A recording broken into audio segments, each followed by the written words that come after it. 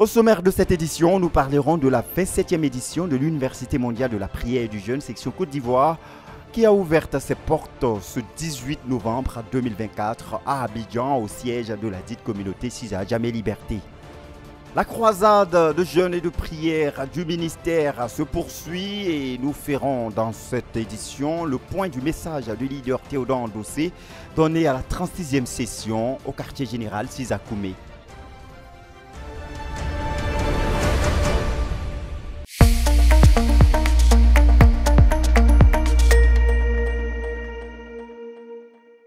La 27e édition de l'Université mondiale de la prière et du jeune section Côte d'Ivoire s'est ouverte le 18 novembre 2024 au siège de la CMCI Côte d'Ivoire Cisa Jamais Liberté. Comment réussir sa vie et son ministère de prière est le thème autour duquel va se dérouler cette 27e édition de l'UMPJ Côte d'Ivoire qui a pour orateur la sœur Colette Meunier, missionnaire numéro 2 de la CMCI Côte d'Ivoire. Le développement de ce thème tournera principalement autour du livre Comment réussir dans la vie chrétienne du professeur Zacharias Stanifomom, fondateur de la CMCI. Dès l'entame de la rencontre, l'orateur a pris le soin de partager l'histoire des UMPJ aux 850 étudiants qui ont pris part à cette session d'ouverture. Nous sommes à la 27e édition de l'UMPJ. En comptant à partir de 2013. Sinon, depuis 1998, nous avons été à rassembler les frères de la nation pour harmoniser nos vues, pour nous entendre sur ce qu'il faut prier. Vous savez que les gens prient beaucoup de choses, n'est-ce pas? C'était important et très utile qu'on ait une institution qui s'occupe de former les gens à la prière et au jeûne. Former et impartir la foi. Exciter la responsabilité. Montrer aux gens le chemin par lequel Dieu résout ses problèmes. Donc je pense qu'il y a eu environ, environ 14 conventions de prière. Et puis, nous sommes aujourd'hui à la 27e édition de l'UMPJ. C'est cette historique qui a ouvert un boulevard d'action de grâce axé sur les conventions de prière qui se sont transformées en UMPJ en 2013 et leurs impacts que la rencontre a débuté en obéissance à Éphésiens 5 le verset 20 rendez continuellement grâce pour toutes choses à Dieu le Père au nom de notre Seigneur Jésus-Christ. Merci beaucoup pour ces moments où tu nous as formés à tes pieds. Merci pour le chemin tracé. Merci pour les faibles commencements. Merci beaucoup, Seigneur, pour les prières élevées que nous sommes en train de voir aujourd'hui, Seigneur, dans les vies, dans les foyers, dans la nation et même dans les nations. Sois exalté pour le chemin tracé. Au nom de Jésus-Christ. Amen.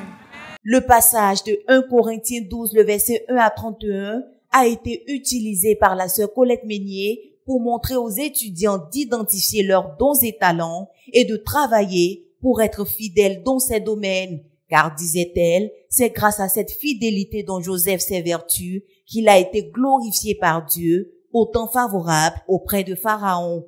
Ce message venu à point nommé a permis aux participants d'ouvrir leurs yeux sur la richesse qu'ils possèdent. Et comme réponse, les frères se sont repentis de n'avoir pas mis ses dons et talents au service de Dieu. Après cette première journée, la 27e édition de l'UMPJ se poursuivra jusqu'au 21 novembre 2024 et les programmes se tiendront de 16h à 20h, suivis des nuits de prière de la croisade de louanges et de jeunes du ministère, dirigés par le pasteur Boniface Meunier, leader de la CMCI Côte d'Ivoire.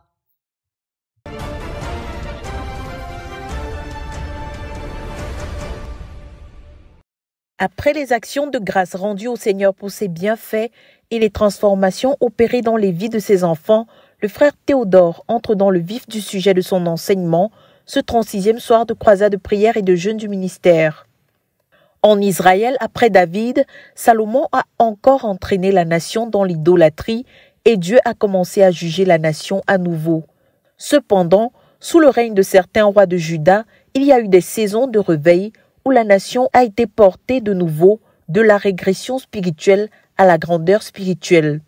Je voudrais vous aider à voir comment nos dirigeants peuvent coopérer avec Dieu pour avoir le réveil, déclare l'orateur avant lecture de 2 Chroniques chapitre 14. Cette histoire est précise.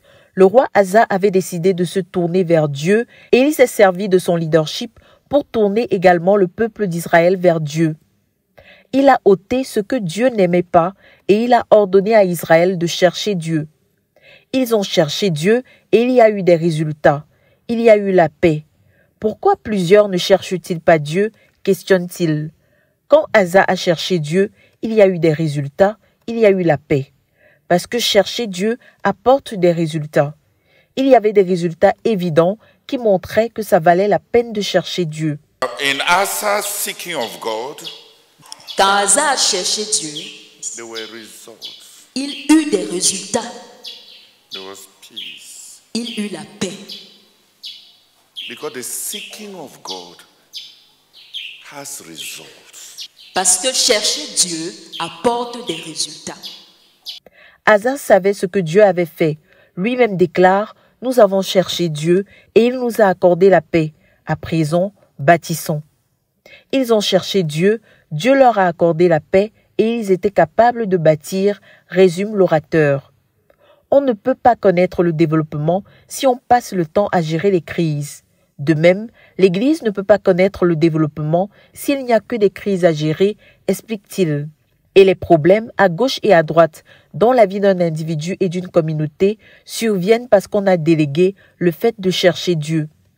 Et les problèmes à droite et à gauche dans la vie, dans la vie d'un individu et dans la vie d'une communauté, c'est parce qu'on a relégué le fait de chercher Dieu. Il nous faut être convaincus qu'une vie de crise continuelle est un indicateur du fait qu'on a abandonné Dieu. La recherche de Dieu produit effectivement des résultats. Dans l'histoire d'Asa ici, il est dit, nous avons cherché Dieu, il nous a accordé la paix, bâtissons. Et ils ont bâti une armée ainsi que leur ville et ils sont devenus forts et stables. La croissance personnelle, la croissance de l'Église et même le développement d'une nation dépendent de la paix. La vie de plusieurs a été condamnée à une perpétuelle gestion de crise. Puis Israël a eu une guerre contre les Éthiopiens, reprend-il. Asa s'est encore tourné vers Dieu et ils ont eu la victoire. La recherche de Dieu a marché en temps de paix comme en temps de crise. Ils ont trouvé Dieu en temps de paix et en temps de guerre. Ainsi, Asa grandissait. The seeking of God walked during peacetime. The seeking of God walked during a crisis. Leur recherche de Dieu avait marché pendant le temps de la paix et cette même recherche de Dieu avait marché pendant les temps de crise. During peacetime, and they found God during war. Ils avaient trouvé Dieu pendant qu'ils étaient en paix et ils ont trouvé Dieu également pendant le temps de la guerre. Cette piste qu'il a empruntée pour chercher Dieu, pour lui-même et pour la nation a marché, avec des preuves empiriques à l'appui. Cela avait de la pertinence autant pour lui que pour la nation, fait-il remarquer. Enfin, dans ce chapitre, il est mentionné qu'il est aussi devenu riche. La victoire que Dieu lui avait accordée pendant la guerre lui a apporté de la richesse. Il y avait beaucoup de butin, de bétail. Cette affaire de recherche de Dieu avait marché pour lui et elle avait marché pour la nation qu'il dirigeait, insiste-t-il. Un dirigeant ne peut pas conduire la nation sur une piste qui ne s'est pas avérée bénéfique pour lui-même, déclare le leader avant d'appeler les frères à remercier Dieu pour la découverte qu'Aza a faite. Je voudrais compris que nos dirigeants se servent de leur leadership pour tourner leur peuple vers Dieu parce qu'ils ne disposent pas de tout ce dont ce peuple a besoin. La sagesse d'Aza réside en ce qu'il ne s'est pas servi de son leadership pour tourner le peuple vers lui-même, mais vers Dieu, et cela a marché. Dieu leur a accordé la paix. On ne peut pas donner aux gens ce que Dieu seul peut donner. Dieu leur a donné la victoire à la guerre contre une armée qui était supérieure en effectif et cette recherche de Dieu leur a apporté des richesses. Comment, connaissant notre propre pauvreté, nous tenons tout de même à nous tenir devant les gens, déplore-t-il? Si tu voulais donner l'argent aux gens que tu diriges, tu dirigerais combien de personnes de cette manière alors que tu n'arrives même pas à satisfaire les besoins des membres de ta famille? Cependant, Dieu leur a accordé la paix, il leur a donné la victoire et un grand butin. Dans Jérémie 17, il y a une malédiction sur quiconque place sa confiance en un homme qui déclare Maudit soit l'homme qui se confie en l'homme. Plusieurs fonctionnent sous cette malédiction. Ils veulent trouver faveur auprès de tels dirigeants ou de tels directeurs. Ils passent toute leur vie à chercher des parrains. C'est une malédiction. Dieu a-t-il autant échoué? Veux-tu te constituer en un témoignage du fait que Dieu a échoué? Who relies on man. Il y a une malédiction sur quiconque place sa confiance en un homme. There is a curse Il y a une malédiction. in Jeremiah 17. Dans Jérémie au chapitre 17. Woe to him that trusted in man. Malheur à celui qui place sa confiance en un homme.